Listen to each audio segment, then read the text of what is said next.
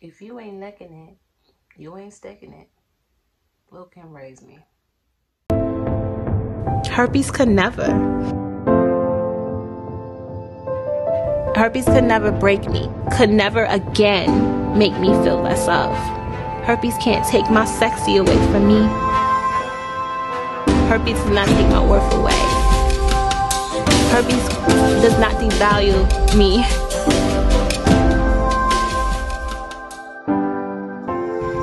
Herpes can never. Welcome to my channel, y'all. My name is Shana Singleton, aka The Herpes Goddess, and yes, having me is a big flex. I am the founder of Herpes Can Never Grow in the largest herpes awareness platform because I inspire people to love themselves more. The mission at Herpes Can Never is to be at war with the stigma until our community feels comfortable being open about their status and proud of their sexuality. If you are searching for herpes resources like safe sex and herpes disclosure, herpes diet and remedies, being a mother with herpes, living with herpes and HIV, learning your triggers and prodrome symptoms, and so much more, go ahead to this to the description box below this video and select that link. That is going to lead you to my Linktree filled with herpes resources. Now that's neither here or there because I didn't come here for that. The title was, Can I Still Get Head Having Herpes? And for me, it's hell yeah. It's a personal decision. And it's a decision be, that's going to be made between you and your partner. More so you and how you feel about your herpes, right? Um, I'm a firm believer that if you ain't looking at you ain't sticking it. You heard it in the beginning of the of, of the um video, but at the end of the day, your partner has to have the understanding that there's always going to be a chance that they can get herpes from you. Yes, there's, there's safe ways you can have sex. We have the Safe Sex and Herpes Disclosure Workshop again in the link below.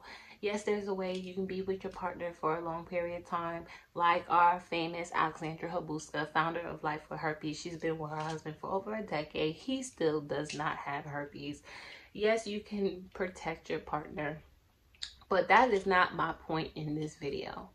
My point in this video is you have to, you deserve to be loved. You deserve to be loved fully. You deserve to be loved the way you want to be loved okay? You deserve a partner that wants to pleasure you in the ways you want to be pleasured in. You deserve a partner that can't keep their hands off of you that is all about you and completely into you and want to love on you like a normal human being that you are. You just have herpes okay? And that's it.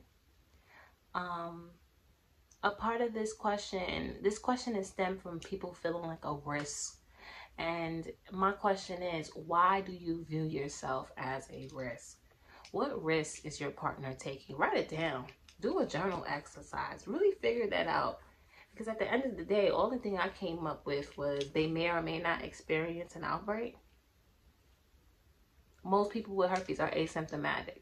There's that may or may not part. What is the risk? My partner's not going to die.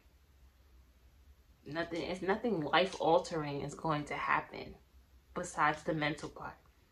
And at the end of the day, if you've really been listening to my videos, you, we all know that the herpes stigma and the herpes virus are two different things. So what is the risk?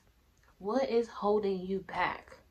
What is holding you back from enjoying your sex life? I can't imagine the sex life when you're sitting there having sex and you have to think about your herpes and passing it on to your partner the entire time. How are you even reaching orgasm doing that? Stressing yourself out. I don't want to be in no relationship where my partner is making me feel like a risk. I don't want to be in no relationship where I have to tiptoe. I don't have to I want to be in no relationship where I feel like I can't enjoy certain things because my partner is afraid of my herpes. Baby, I am not for the afraid. I am not for the scared. If you scared of my herpes, leave me alone. Don't even slide in my DM. I have herpes. It comes with the territory. Having me is a big flex. There's so much things that are grand about me that my herpes is not even being brought up when it comes to the what I bring to the table. My spirit, my energy, what I do for this world, my purpose, how I show up as a mother, my hustlers, everything about me is big flex energy. It's expected for you to accept my herpes. And if you don't want to, that's okay. You just ain't for me. What's for you will not pass you by, y'all. And like Euphoria says over all the time, rejection is redirection. Yes, you can still have sex. I mean, have sex being herpes positive. Yes, you can still get head being herpes positive. Your partner just has that be make that choice to move forward with you. And somebody for you will. The person not for you is going to be the person who doesn't want to get herpes and that's fine. But the person that's for you the person made for you is going to be completely okay with the fact that you have herpes. You can use dental dams. You can use condoms. You can be on suppression medication. You can change your lifestyle. You can do whatever you want to do that makes you feel better about your herpes. But at the end of the day there's always going to be a chance that your partner can contract the virus. That's one. Two Work with how you feel about your herpes. If you accept your status, you ain't going to be worried about the next person who does or do does not accept your status. Because how you feel about yourself will be enough. And you'll be able to attract the person for you. There's so many people on here that's going to come, this on not on here, but there's so many people in life that is going to give you the energy that you need. Okay? That energy. Babe, you having an outbreak? Do you need something? Babe, you having an outbreak? Can I see? Babe, you having an outbreak? Let me buy this and this and that for you so that you feel better. Babe, don't do, do that. I know that's one of your triggers. Babe, your immune system is low, so we're going to take a little break. Babe, I don't care if you're having an outbreak. We can just do this and this and this and that. Or I just want to hold you tonight. Babe, I don't care if you have herpes. I, I know your prodrome symptoms. I know your triggers. I know that you're not having an outbreak right now. I just want to make you feel good. I can't keep my hands off of you. I love you so much. I want to pleasure you. There's so many people in this world that's going to give you that energy. But you got to give that energy to yourself first so you can attract that energy right back. But if you coming out here scared about your herpes, you're going to attract people that's going to be scared of your herpes. Okay? Or you're going to attract somebody that is going to be attracted to the fact that you love your that you can't love yourself 100% that you haven't accepted your herpes people that benefit off of that narcissists and manipulators. So if you're feeling like a risk if you're feeling a little hesitant if you're not wanting to be touched or you don't even want to talk to people because you know that you have herpes and you feel a way about your herpes take a break from dating take a break from sex and focus on you and figure that out and start healing and do the work that you need to do so you can show up for you 100%. Okay? If it's a worry or if it's a concern, you're not ready to date. And I say that not trying to be an asshole, not trying to make you feel away, not trying to trigger you, but to let you know that it's okay.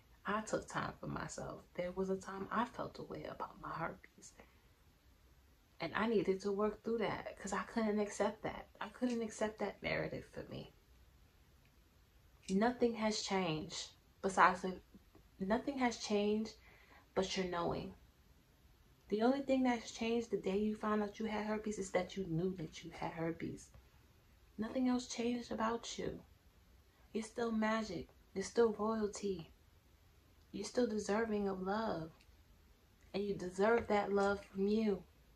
Stop trying to find that love from other people and get it from you first. So that you can set intentions moving forward.